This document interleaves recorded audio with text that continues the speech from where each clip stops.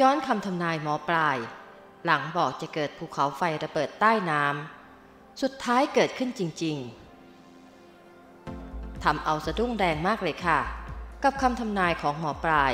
ที่เคยทำนายไว้ก่อนหน้านี้ว่า น้ำที่ขึ้นมา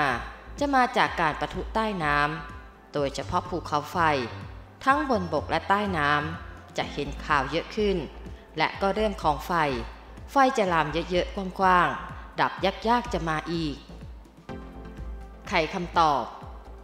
เหตุใดภูเขาไฟใต้ทะเล ในประเทศตองกาเกิดการประทุรุนแรง จึงเกิดสึนามิสูง 1 เมตร ในชายฝั่งมหาสมุทรแปซิฟิก ผู้เชี่ยวชาญด้านแผ่นดินไหวระบุในอดีต 138 ปีก่อน ภูเขาไฟกรากา ตัวอินโดนีเซีย เคยปะทุและมีคลื่นสูง 30 เมตร วันที่ 16 มกราคม 2565 กรมทรัพยากรธรณี รายงานว่า เมื่อเวลา 13นาฬิกา26 นาทีตามเวลาในประเทศไทย ภูเขาไฟใต้ทะเลเกิดการประทุรุนแรง แรงสั่นสะเทือนที่มีเสียงดังถึงหมู่เกาะฟิจิ รวมทั้งวันรวมทั้งเตือนคลื่นสึนามิในหลายประเทศ ภูเขาไฟดังกล่าวตั้งอยู่ทางทิศตะวันออกเฉียงใต้ ประมาณ 30 กิโลเมตร จากเกาะประเทศตองกา ซึ่งเป็นประเทศหมู่เกาะในภูมิภาคพอลินีเซีย และตั้งอยู่ในมหาสมุทรแปซิฟิก ระหว่างประเทศนิวซีแลนด์ กับรัฐอาวายของประเทศสหรัฐอเมริกา ภูเขาไฟลูกนี้เป็นภูเขาไฟขนาดใหญ่ สูงประมาณ 1,800 เมตร และกว้าง 20 กิโลเมตร เหตุการณ์สึนามิที่เกิดขึ้นครั้งนี้ มีสาเหตุจากการประทุรุนแรงของภูเขาไฟใต้ทะเล ซึ่งเป็นภูเขาไฟในกลุ่มของภูเขาไฟในหมู่เกาะตองกา ทั้งนี้เมื่อวันที่ 20 ธันวาคม 2564 และวันที่ 11 มกราคม 2565 ภูเขาไฟดังกล่าวมีสัญญาณเตือนก่อนจะปะทุรุนแรง และเคยปะทุรุนแรงเมื่อปี 2455 เหตุการณ์ภูเขาไฟปะทุรุนแรงครั้งนี้ ส่งผลให้ภูเขาไฟพ่นควัน และเท่าฐานสูงมากกว่า 15 เมตร และเกิดสึนามิสูง 1.2 เมตร ซัดเข้าหาชายฝั่งของเมืองลุกูอาโลฟา ซึ่งเป็นเมืองหลวงของประเทศตองกาทำให้ถนนเลียบฝั่งมีน้ำเอ่อท่วม บ้านเตือนของประชาชน หลายประเทศเตือนภัยสึนามิ หลังจากภูเขาไฟใต้ทะเลในตองการะเบิด ขณะที่กองเฝ้าระวังแผ่นดินไหวกรมอุตุนิยมวิทยา ยืนยันเหตุการณ์นี้ไม่มีผลกระทบกับประเทศไทย และมีโอกาสน้อยมากที่จะเกิดสึนามิเพราะอยู่ห่างจากอ่าวไทยมากหลายพันกิโลเมตร ไขคำตอบภูเขาไฟระเบิดสึนามิสะเทือนไกล ไทย PBS ออนไลน์ สัมภาษณ์ศาสตราจารย์ ดร เป็นหนึ่ง วานิชัย อาจารย์สถาบันเทคโนโลยีแห่งเอเชีย และผู้เชี่ยวชาญด้านแผ่นดินไหวระบุว่า การเกิดภูเขาไฟปะทุใต้ทะเลในตองกา สิ่งที่น่ากลัวคือทำให้เกิดสึนามิ เนื่องจากตามธรรมชาตินั้น น้ำในมหาสมุทรจะกระจายตัวไปได้ไกลมาก จึงส่งผลกระทบในวงกว้างที่เป็นความปั่นป่วนสึนามิที่เกิดขึ้นครั้งนี้จากภูเขาใต้ทะเลปะทุ เป็นอันตรายพอที่จะต้องเตือนคนชายฝั่ง มหาสมุทรแปซิฟิก เพราะน้ำทะเลกระจายตัวไปไว แต่หลายประเทศมีการเตรียมพร้อมที่ดี ทั้งญี่ปุ่น สหรัฐอเมริกา มีเวลาหลายชั่วโมงในการเตือนภัย ผู้เชี่ยวชาญด้านแผ่นดินไหวกล่าวว่า ปัจจัยภูเขาไฟใต้ทะเลปะทุ และเกิดสึนามิไม่ได้เกิดขึ้นบ่อย สาเหตุการระเบิดมาจากกระบวนการทางธรณีวิทยา รอยต่อของแผ่นดินเปลือกโลก แผ่นดินไหวและบางกรณี ก็จะกระตุ้นมวลน้ำให้เกิดสึนามิ หากย้อนเหตุการณ์ในอดีตโลกเมื่อ 130 ปีก่อน เคยได้ยินการเกิดภูเขาไฟกรากาตัวในอินโดนีเซีย โดยมีรายงานสึนามิสูงนับ 30 เมตร ครั้งล่าสุดเมื่อเดือนธันวาคม 2561 เกิดสึนามิ 1-3 เมตร สัดเข้าใส่ชายฝั่งของเกาะชวา และเกาะสุมาตรา มีผู้เสียชีวิตจำนวนมาก ศาสตราจารย์ดรเป็นหนึ่งระบุว่าสำหรับประเทศไทยไม่ได้รับผลกระทบจากเหตุการณ์นี้ เพราะกว่าคลื่นสึนามิจะเดินทางมาถึงอ่าวไทย ต้องผ่านทะเลจีนใต้และหมู่เกาะต่างๆ มากมาย ขณะที่สึนามิที่เดินทางไปถึงชายฝั่งในมหาสมุทรแปซิฟิกแล้ว ตั้งแต่ฮาวาย สหรัฐอเมริกา ชิลี ญี่ปุ่น เกิดสึนามิสูง 1 เมตร หน่วยงานเตือนแปซิฟิกยังให้เฝ้าระวังอยู่ ราะสึนามิจะเกิดเป็นระลอก อาจจะมีลูกตามหลังมา แต่ไม่แรงเท่าลูกแรก แต่ยังต้องเตือนอยู่ ภูเขาไฟระเบิดใต้น้ำที่ทำให้เกิดสึนามิ โอกาสเกิดน้อยกว่าแผ่นดินไหวแต่เชื่อว่าหลายประเทศยังต้องจับตาปรากฏการณ์ครั้งนี้ว่า จะมีผลกระทบต่อแนวภูเขาไฟอื่นหรือไม่ ก่อนหน้านี้สำนักข่าว AFP ถ่ายภาพเมื่อวันที่ 21 ธันวาคม 2564 แสดงให้เห็นที่ลอยขึ้นมาจากการประทุที่เห็นได้จากแนวชายฝั่งใกล้เมืองหลวงของตองกา กองเฝ้าระวังแผ่นดินไหวยันไทยให้เกิดสึนามิ นายสุกฤตเกิดแสง ผู้อำนวยการส่วนวิเคราะห์ และพัฒนาระบบตรวจวัดแผ่นดินไหวกรมอุตุนิยมวิทยากล่าวว่า จุดที่เกิดเหตุการณ์ภูเขาไฟปะทุบริเวณมหาสมุทรแปซิฟิก อยู่ห่างจากประเทศไทยมากกว่า 9,000 กิโลเมตร ดังนั้นโอกาสเกิดขึ้นสึนามิ ส่งผลกระทบต่อประเทศไทยเป็นไปได้ยาก เพราะกว่าจะมาถึงอ่าวไทยจะใช้เวลากว่า 10 ชั่วโมง ก่อนที่คลื่นจะเดินทางมาถึงประเทศไทย ยังมีทั้งอินโดนีเซีย ฟิลิปปินส์ที่มีเกาะมากมายบังไว้ และที่สำคัญทะเลของประเทศไทย จะมีภูมิประเทศลักษณะตื้นขึ้นเรื่อยๆ หากเกิดขึ้นสึนามิจริงจะสูงเพียงแค่ 10 เซนติเมตร กองเฝ้าระวังแผ่นดินไหวกรมอุตุนิยมวิทยา ได้ออกหนังสือชี้แจงข่าวลือว่า จะมีการเกิดสึนามิที่ทะเลฝั่งอันดามันและอ่าวไทย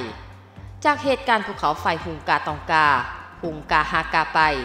ที่อยู่ใต้มหาสมุทรแปซิฟิก ปัดทุทำให้ประชาชนสับสนว่าข่าวดังกล่าวมีความคลาดเคลื่อนจากข้อเท็จจริง และเท่าที่ตรวจสอบพบว่าสึนามิที่เกิดในแปซิฟิกนั้น จะไม่ส่งผลกระทบต่อชายฝั่งอันดามัน และชายฝั่งอ่าวไทยของประเทศไทย สุดภวายากที่จะคาดการภูเขาไฟใต้ทะเลในตองกา จะระเบิดอีกเมื่อใดภูเขาไฟใต้ทะเลในตองกาปัดทุกครั้งใหญ่ รุนแรงสุดในรอบ 30 ปี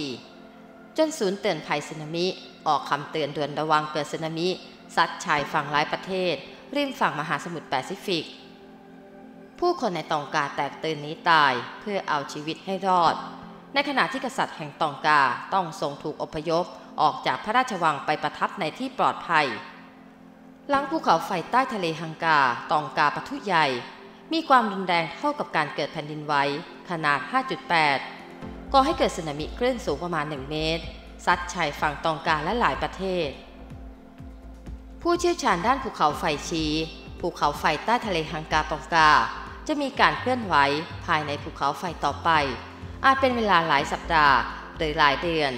อีกทั้งเป็นเรื่องยากที่จะคาดการได้ว่าภูเขาไฟใต้ทะเลลูกนี้ จะระเบิดครั้งใหม่ขึ้นมาอีกเมื่อใด อกสั่นขวัญแขวนตกตะลึงกันทั่วโลก ไม่มีใครคาดคิดภูเขาไฟใต้ทะเลฮังกาตองกาฮังกาฮายาไปฮังกา ประเทศในมหาสมุทรแปซิฟิก ได้เกิดการประทุครั้งใหญ่เมื่อช่วงเวลาประมาณ 17นาฬิกา27 นาทีของเย็นวันเสาร์ที่ 15 มกราคมที่ผ่านมา ตามเวลาท้องถิ่น จนก่อให้เกิดสึนามิคลื่นสูงซัดชายฝั่งตรงการวมทั้งญี่ปุ่น และรัฐแคลิฟอร์เนียของสหรัฐภูเขาไฟใต้ทะเลฮังกาตองกาห่างเมืองหลวงแค่ 30 กิโลเมตรภูเขาไฟใต้ทะเลฮังกาตองกาฮังกาฮายาไป เป็นภูเขาไฟใต้ทะเล ที่อยู่ระหว่างเกาะสองเกาะ คือเกาะฮังกาตองกา และเกาะฮังกาฮายาไป จึงทำให้มีการตั้งชื่อภูเขาไฟใต้ทะเลลูกนี้ว่าฮังกาตองกาฮังกาฮายาไปหรือเรียกสั้นๆว่าฮังกาตองกา เรื่องที่น่าหวาดหวั่นสำหรับตองกา ประเทศซึ่งมีประชากรราวหนึ่งแสนคนตลอดมา ก็คือภูเขาไฟใต้ทะเลฮังกาตองกา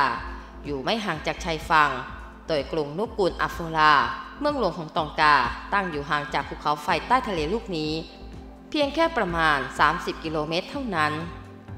ศาสตราจารย์กิติคุณริชาร์ดอังคุลัสจากมหาวิทยาลัยแห่งชาติออสเตรเลีย ชี้ว่า โดยทางเทคนิคแล้วการประทุของภูเขาไฟฮังกาตองกา ถูกจัดให้เป็นการประทุของภูเขาไฟใต้ทะเล แต่ถ้าเราดูจากภาพ เราจะเห็นว่าปล่องภูเขาไฟฮังกาตองกา อยู่เหนือระดับน้ำทะเล เคยปะทุมาแล้วหรือไม่ภูเขาไฟใต้ทะเลฮังกาตองกา ได้เกิดการเคลื่อนไหวภายในภูเขาไฟช่วง 15 ปีที่ผ่านมา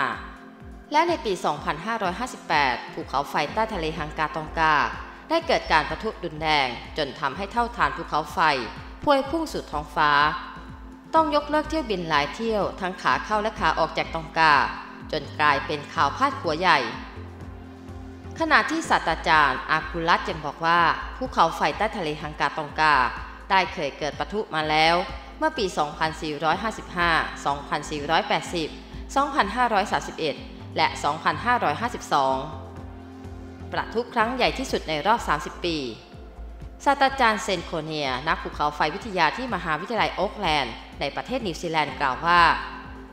การประทุของภูเขาไฟใต้ทะเลฮังกาตองกา เมื่อ 15 มกราคม 2565 ถือเป็นการประทุครั้งใหญ่ที่สุดในรอบ 30 ปี สำนักสำรวจทางธรณีวิทยาของสหรัฐ ตรวจวัดพบว่าภูเขาไฟใต้ทะเลฮังกาตองกา ปะทุครั้งล่าสุดนี้ มีความรุนแรงเท่ากับแผ่นดินไหวขนาด 5.8 ขณะที่เสียงดังสนั่นจากการปะทุครั้งใหญ่ของภูเขาไฟใต้ทะเล ยังทำให้เกิดเสียงโซนิกบูมได้ยินไปไกลถึงรัฐ阿拉สกา ในสหรัฐอเมริกา ซึ่งอยู่ห่างไกลจากภูเขาไฟใต้ทะเลฮังกาตองกา นับ 6,000 ไมล์หรือประมาณ 9,654 กิโลเมตร หลังภูเขาไฟใต้ทะเลฮังกาตองกาปะทุครั้งใหญ่อีก 20 นาทีต่อมา ได้เกิดขึ้นสูงราวเมตร ได้ถาถมซัดชายฝั่งตองกา น้ำทะเลได้ป่าทะลักไหลท่วมถนน สร้างความตื่นตระหนกตกใจให้แก่ประชาชนที่ได้รับคำเตือน ให้รีบอพยพขึ้นที่สูงโดยด่วน ยากจะคาดการว่าจะเกิดอะไรขึ้นต่อไปศาสตราจารย์อากุลัตกล่าวว่า การเคลื่อนไหวภายในภูเขาไฟใต้ทะเลฮังกาตองกา อาจดำเนินต่อไปเป็นเวลาอีกหลายสัปดาห์หรือหลายเดือน แต่ก็เป็นเรื่องยากที่จะคาดการได้ว่าภูเขาไฟใต้ทะเลลูกนี้ จะสะสมพลังมากพอ จนก่อให้เกิดการระเบิดครั้งใหม่ขึ้นมาอีกครั้งเมื่อใด ในขณะที่เกตเลกเจ้าหน้าที่อุตุนิยมวิทยาอาวุโส ที่สำนักอุตุนิยมวิทยาในออสเตรเลีย กล่าวถึงสถานการณ์ภูเขาไฟใต้ทะเลฮังกาตองการะเบิดล่าสุดนี้ว่า เป็นสถานการณ์ที่อันตรายและเปลี่ยนแปลงภูเขาไฟใต้ทะเลปะทุเป็นเหตุการณ์ที่คาดการณ์ได้ยากกว่าปรากฏการณ์ทางสภาพอากาศหรือแผ่นดินไหวเจ้าหน้าที่อุตุนิยมวิทยาอาวุโส ในออสเตรเลียทิ้งท้าย ที่สร้างความหวาดหวั่นไม่น้อย ให้แก่ชาวตองกา และผู้คนที่อยู่ริมมหาสมุทรแปซิฟิก ที่ต้องเผชิญหน้ากับภัยธรรมชาติ ภูเขาไฟใต้ทะเลระเบิด ที่ยากจะคาดการณ์ได้ว่าจะเกิดอีกครั้งเมื่อใด